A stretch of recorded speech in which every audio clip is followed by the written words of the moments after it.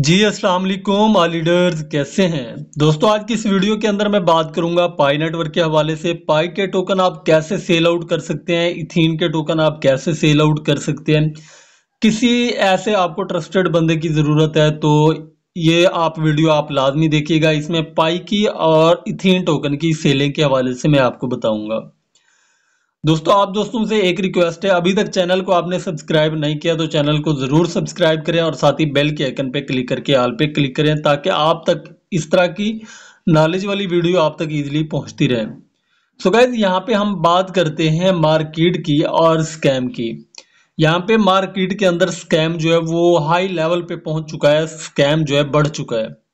तो हर बंदा, जो भी बंदा मार्केट में आता है, कोई बंदा कहता है कि मैं आपसे पाई ले लूँगा इतने पैसों में तो बाद में उनको पेमेंट नहीं करता, वो स्कैम कर जाता है। ये बहुत ज़्यादा सीन है मुझे डेली मैसेज आते हैं।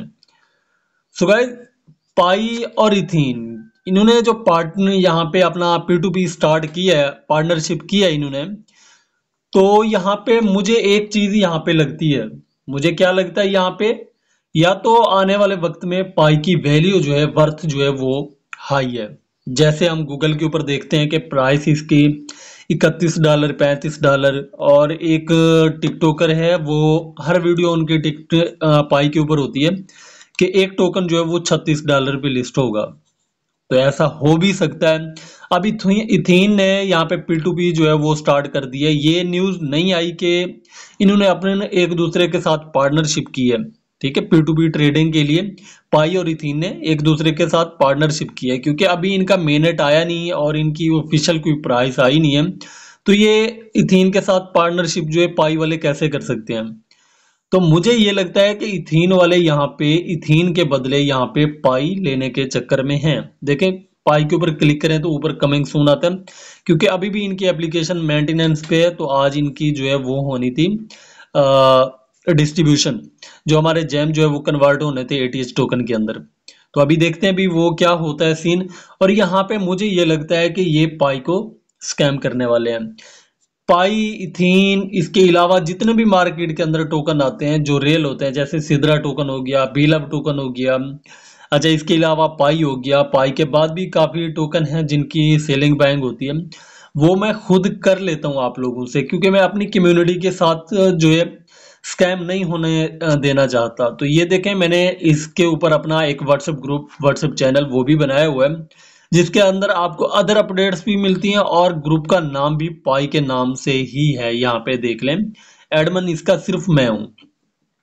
यहाँ पे सारी आप लोगों को अपडेट्स मिलती हैं। अगर आप लोग पाई सेल करना चाहते हैं, आप लोग यहाँ पे जो है कुछ भी सेल करना चाहते हैं ठीक है? या आप बाय करना चाहते हैं तो आप मेरे साथ कॉन्टैक्ट लाजमी करें। नंबर आपको इसी वीडियो के डिस्क्रिप्शन के अंदर मिलेगा, ताकि आप किसी स्कैमर के हाथ ना लग जाएँ। स्कैमर से आप बच जाएँ। आपकी मेहनत, आपका ये असासा आपको ही प्रॉफिट दे। ठीक है? तो ये चीज़ मैंने आपको बतानी थी, पाई नेटवर्क की यहाँ पे पी टू पी ट्रेडिंग होगी है। मेरी, ये मेरी सोच है। ये नहीं पता कि इनकी आगे क्या कहानी है, क्या खिचड़ी इन्होंने बनाई हुई है। तो यहाँ पे मेरे जहन के मुताबिक ये है कि ये इथीन जो है इथीन के बदले यहाँ पे पाई जो है वो बाय करने वाले हैं और अपने पास पाई को होल्ड करने वाले हैं। क्योंकि पाई की इस टाइम भी मार्केट के अंदर अच्छी खासी सत्तर अस्सी रुपए की वैल्यू चल रही है। तो बाकी जो है, इसके हवाले से आप कुछ भी पूछना चाहते हैं कमेंट कर देना। इसकी सिर्फ़ यही अपडेट थी कि पाई और इथीन की जो है, आप सेलिंग बाइंग के लिए जो आपको इशू आता था, वो कैसे आपने सोल्व करना है।